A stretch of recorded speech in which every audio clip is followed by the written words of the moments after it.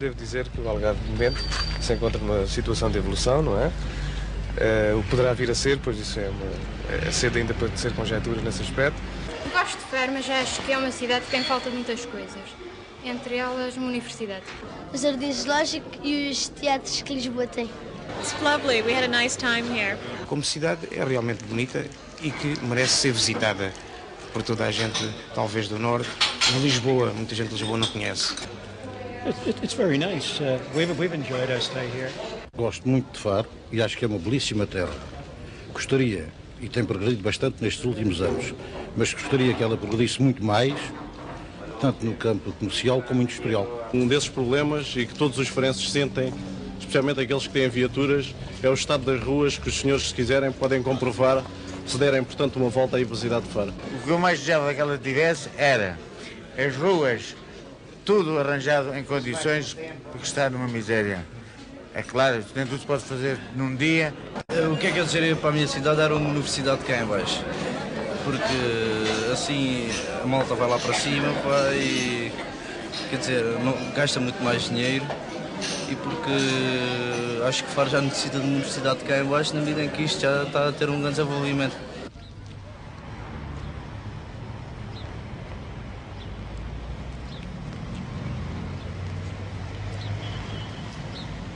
Oh, it's beautiful. It's really great. Everyone is so friendly. And it, it's just really nice. It's green and very different from Canada. Sono andato fuori lì alla costa e ho visto delle belle cose che state facendo, meravigliose. Noi in Italia per ora non ne abbiamo così belle. Gosto da minha cidade porque é a capital do Algarve. Não há divertimentos, é, praticamente só há boato, não há um sei lá, campos de jogos onde pudéssemos uh, treinar, praticar desportos.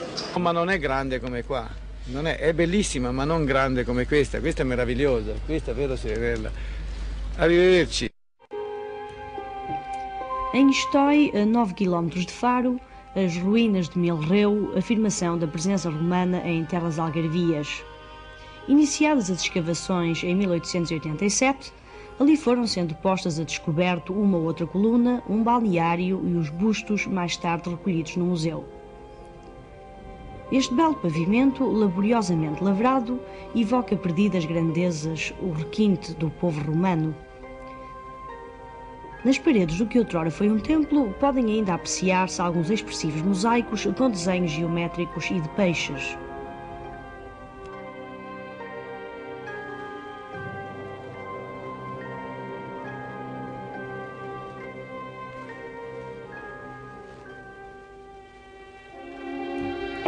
Este é o Museu Arqueológico e Lapidar Infante Dom Henrique. Possui apreciáveis achados pré-históricos, fenícios, gregos e romanos, muitos azulejos e algumas pinturas.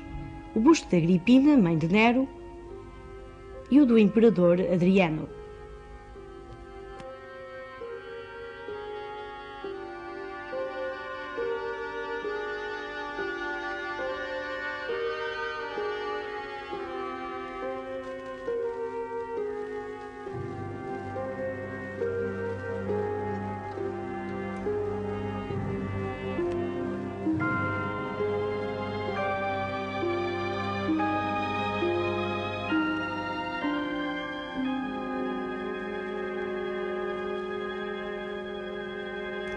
Estátua jacente do capitão-mor Manuel Figueiredo Mascarenhas Manuel, homem de extrema corpulência e de uma robustez quase lendária.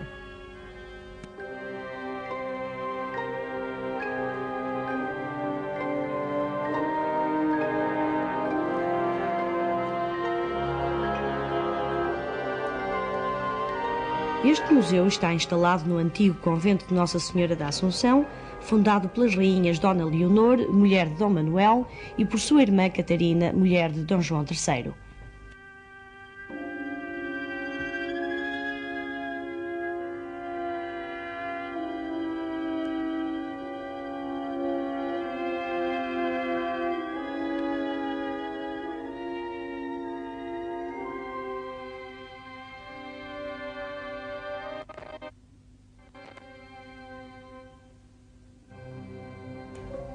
Vários são em Faro os monumentos em memória das personalidades ligadas ao Algarve.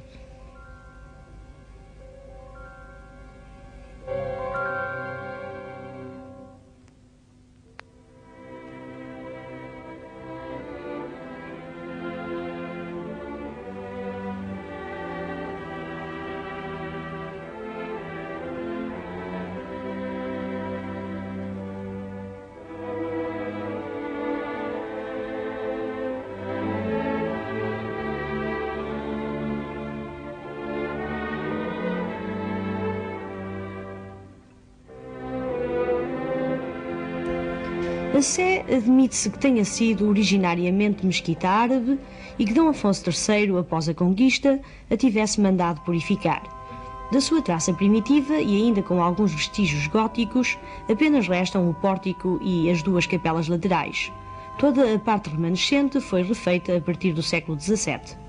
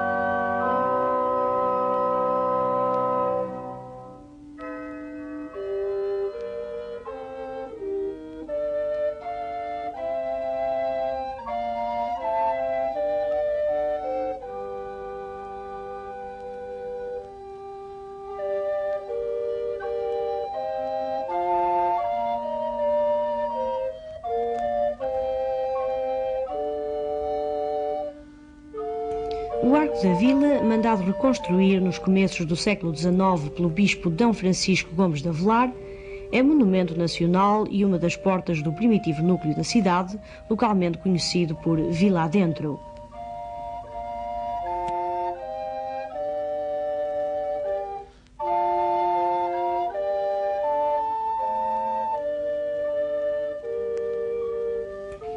Junto a este arco, o Arco do Repouso, teria descansado Dom Afonso III após a conquista da cidade aos mouros. A tradição religiosa de Faro está bem expressa em algumas das suas igrejas. Ou então na imagem trágica, perturbante do chamado humilhadero.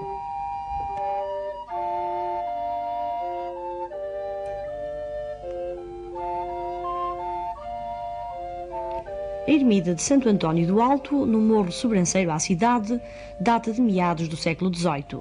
Numa dependência anexa à capela existe um pequeno, mas de veras original Museu Antonino, único em todo o país.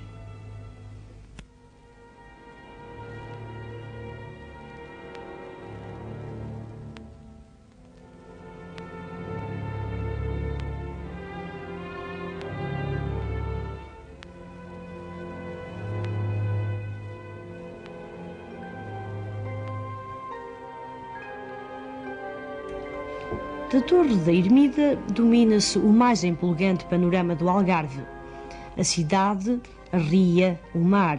Mar que nos leva agora ao promontório de Sagres, a esse formidável penhasco onde o infante Dom Henrique, dando asas a um sonho, mandou os nautas portugueses dar mundos novos ao mundo.